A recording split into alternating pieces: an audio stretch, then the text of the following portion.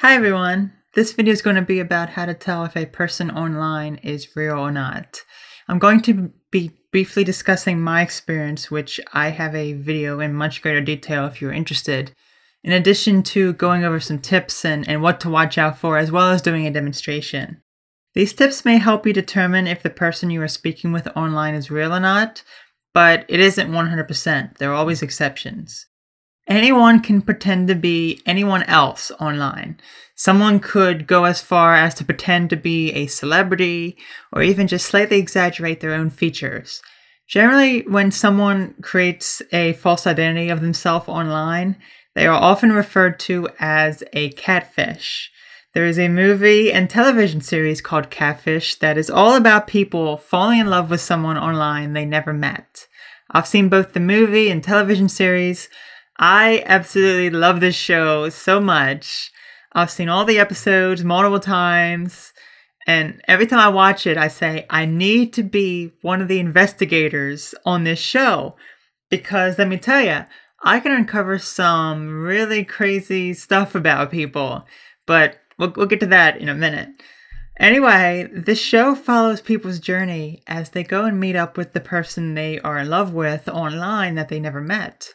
Looking at it from a third person, you can tell the people are blinded by their love for this individual.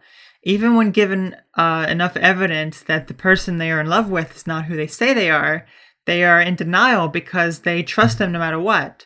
When they go meet up with that, this person and they walk up to the house, it's just, uh, I can feel the, the overwhelming eeriness of the situation. It's just, it's very, very weird. Um, then the person comes out of the house and it's not the person in the profiles profile at all. And it's just it's, it's so heartbreaking too. I can just feel how upset uh, this individual is. Uh, it's just wow. Someone who is pretending to be someone else online has a problem it can be as simple as someone having a self esteem issue and not liking themselves, so they pretend to be someone else or just even change their information. For example, someone who is overweight and uncomfortable with it could either pretend to be someone completely different with pictures on their profile that are not of them, but the personality is truly who they are. Or they could just change their information to read normal weight instead of overweight Whatever the case may be, it is a lie and not right. Someone wants to fall in love with a person that is upfront and honest. When you lie or exaggerate who you are, even just a little, how can anyone believe you after that? Learning to love and accept yourself first is what people with self esteem issues need to do before looking for someone to love them. You can't truly love someone else or be loved by someone until you love and accept yourself first. That is what needs to be worked on before looking for a relationship. Someone having a false identity can also have a very malicious and devious motives as well. Someone could intentionally lure someone into a relationship just to hurt their feelings in the end for their own amusement. Generally, these people are very vicious and have a distorted self image that makes them feel fulfilled when they see others in pain. These individuals also have a severe personality disorder and need to help to learn that their devious ways are unacceptable. Whatever the case is, uh, be very careful out there because if you've never met the person, you don't know what you be- could be getting yourself into. So I actually used an online dating site for a short period of time in 2012. And I had a life changing encounter that I never expected in a million years. If you would like to know about this, I did a video on it. It was a very traumatic experience as well. It was someone who had multiple profiles, who in communication contradicted herself quite a bit to the point where I knew after the very first message it was not the person in the profiles. They were also multiple people who seemed to be interconnected with her, even though they denied it. However, my situation is probably not going to happen to you since it was um A lot of you have said that they were just trolling me, and I understand that abso- that side absolutely. However, it was a lot more complex than that. A lot of information I have uh, was omitted from the video that would definitely change a lot of things.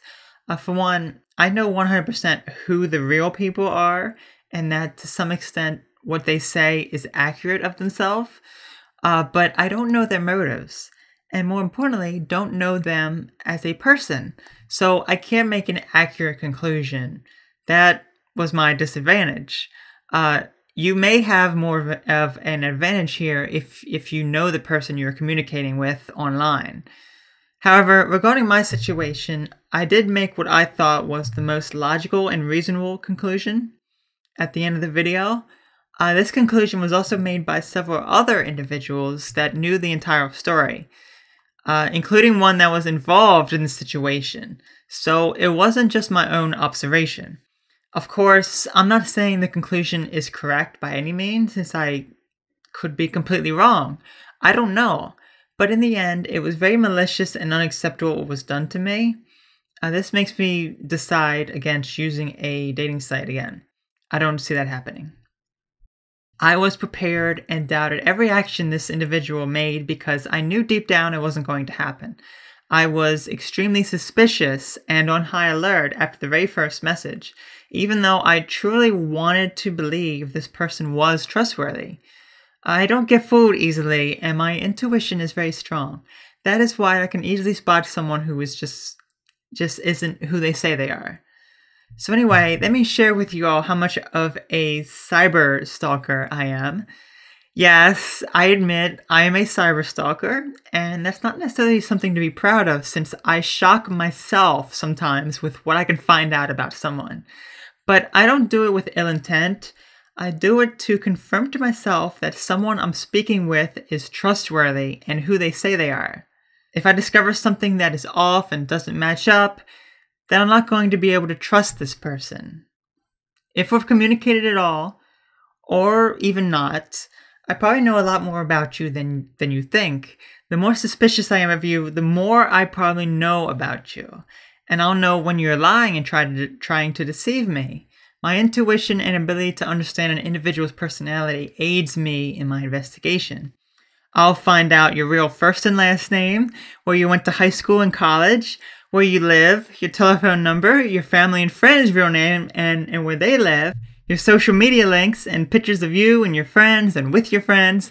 I'll even do a Google Map street view of your house and see you in the yard.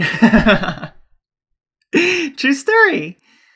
Sorry if that if that sounds creepy, but as I said, it is only so I have proof that the person I'm speaking with is legitimate since I'm not going to waste my time with someone that is fake. So let's discuss some things to watch out for. Uh, the main thing is multiple profiles. Now, what do I mean by multiple profiles? Several things, actually, but they're all pretty much one and the same. There can be one individual that maintains multiple profiles. Generally, the profiles they maintain are of different people. They will have different pictures, information, or just about anything else, but are all run by the same individual. Generally, the pictures may be different, but the personality would be congruent with how the individual truly is. However, in rare circumstances, one individual could maintain several profiles of themselves, with pictures of themselves. The information may be the same or different, as well as the name. Likewise, someone could have fakes. An individual that is a catfish could find someone's profile pictures and take them to use for their fictitious profile. In other words, it may appear that an individual has multiple profiles of himself, but in actuality, two different people are behind them.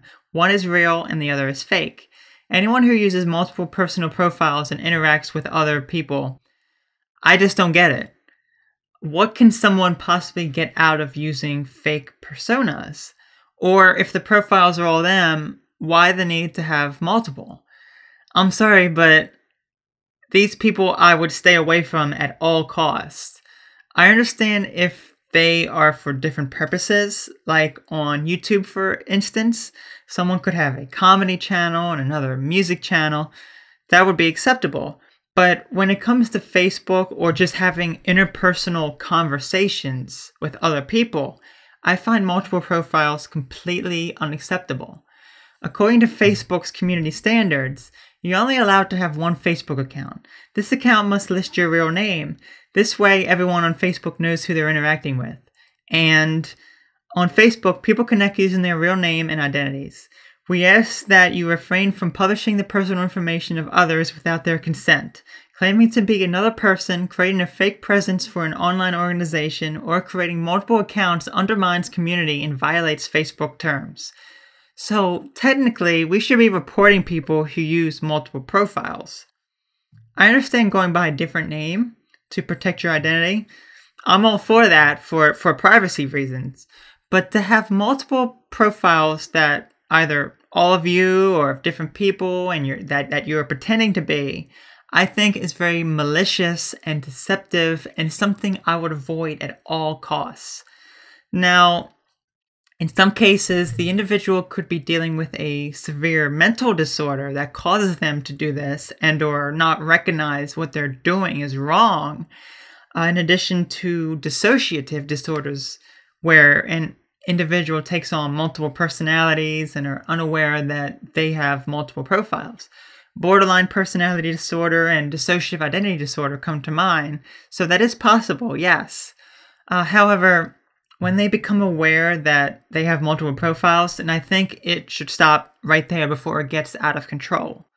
Same goes for the other way around. Someone with multiple personalities that maintains one profile may feel the need to detach themselves even more from this profile and create multiple personal profiles. I find this unacceptable as well. I think it should be one profile per individual or body. If you are not interacting with people at all and keeping it that way, then I don't really see an issue with using multiple profiles. But the moment another individual becomes involved in this multiple profile mess, then it needs to stop right then and there. Uh, that way, people are not deceived and lured into relationships with people who have an artificial online presence. That should be the main concern to prevent anyone from getting hurt in the end. Because you know, if you have a false identity online and you fall in love with someone and you feel like you cannot tell them the truth that you are not the person in the pictures or something else you are hiding because you feel they would dislike you, then you've already gone too far. Avoiding the fake profiles altogether is the only true way that people will be able to love you for who you really are, with no lies or deceit. Someone does not want to fall in love with or trust an individual that pretends to be someone else or exaggerates who they really are. Social media can be an addiction, so be very careful about making fake profiles online because it could turn into something bad very quickly. The next thing to watch out for is someone that doesn't follow through and makes excuses. For example, let's say you've been dating someone for a year now and you live close to one another and have yet to meet up because they say they're busy all the time. They're making excuses because they are either have something to hide or extremely anxious or both. If the person truly cared about you, then their main priority should be to be open and honest with you. But when they are struggling with something, it may not necessarily work out. If they truly do want to meet but are extremely anxious, then they should say that because that would be the truth. But you have to take into consideration that people fear their own weaknesses and think that by telling you something they think makes them feel weak and inferior is a bad move. In actuality, fear is necessary and what makes us strong. By fighting through your fear and being open and honest, standing up for what you believe in is the only way to overcome that fear of betrayal and rejection. Of course, it's difficult, but it is that difficulty that makes all of us strong. Time for some tips. The number one most important tip is to prevent yourself from falling in love with someone you've never met. This is difficult, if not impossible, for many individuals. When you feel that connection with someone that you've never experienced before, it is only natural to feel an attraction and love them.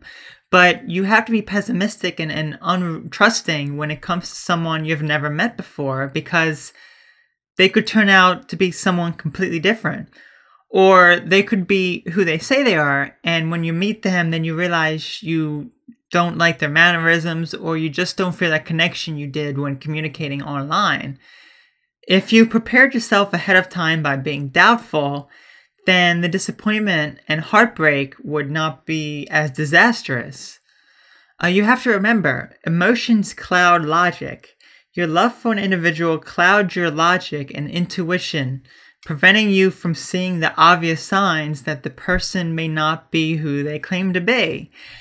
There can could be so many red flags with many people telling you that's not the person you're talking with. Yet you believe otherwise because you trust and accept and love the individual, thinking they are telling you the truth when they could actually be hiding behind a mask of deceit and lies. Be very careful online. Some other tips I have I will also be shown shown in the demonstration. One thing is one thing I've seen uh, quite often is the the same username. Many people I've seen use the same or close to the same username across various sites online.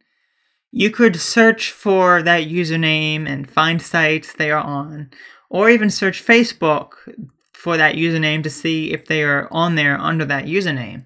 I've done all this and it has been extremely helpful at finding many things about people. Another uh, very helpful tip is to do search for the image. You can import the image into Google Images, for example, and it will find all instances of that image across the internet. It will not, however, uh, find private pictures. If someone has a private Facebook profile that is only accessible to friends and not search engines, it will not find those. So it isn't 100% accurate, but it can give you a lot of useful information. If all else fails, you can search for the person's name, phone number, house, or on an online public record site.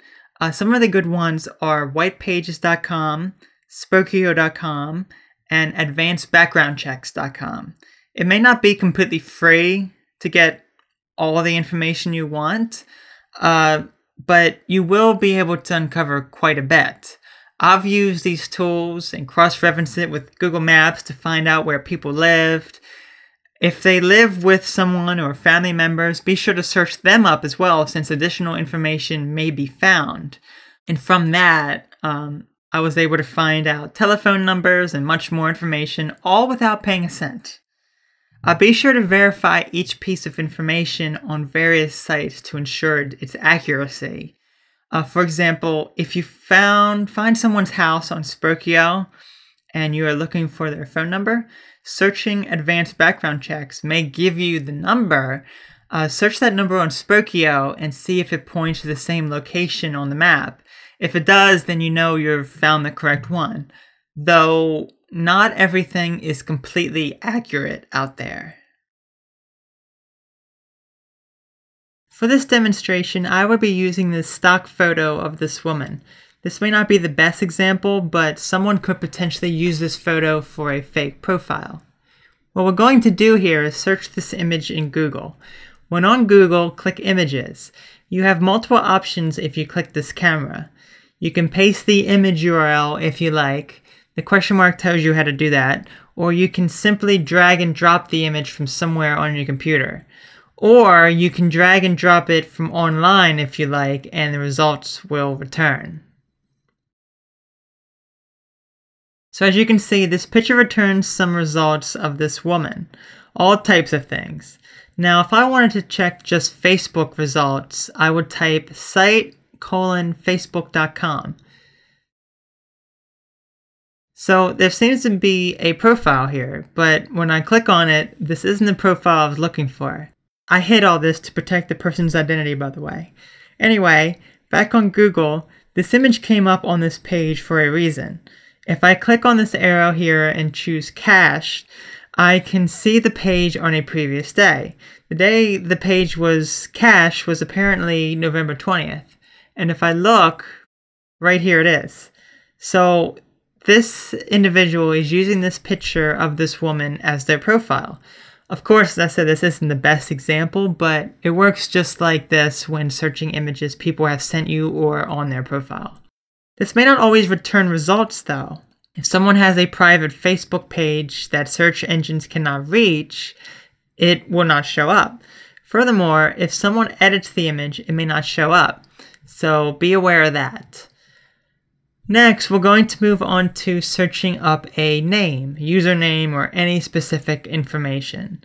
Let's pick a random username here. Let's say username underscore 421. As you can see, no results are coming up for username underscore 421, just username 421. If I wanted to search specifically for username underscore 421, I would wrap the phrase in quotation marks. As you can see, nothing returned, so there were no results for this username. You can utilize this to return specific results or part of specific results you need. Furthermore, let's do a search for Google. As you can see, almost all the top results are variations of google.com. If I wanted to only show results from google.com, I would again type site colon google.com. But let's say I want to omit google.com results. I will type a hyphen before site and it will filter out all sites that include google.com. I can repeat this if I like, so if I wanted to not see any sites that include twitter.com, I would do the same here. There are so many search operators you can use, so be sure to look over the Google Help documents for more information. Do a search for Google search operators and you'll find a lot of information. So I hope this video was helpful. Thanks for watching.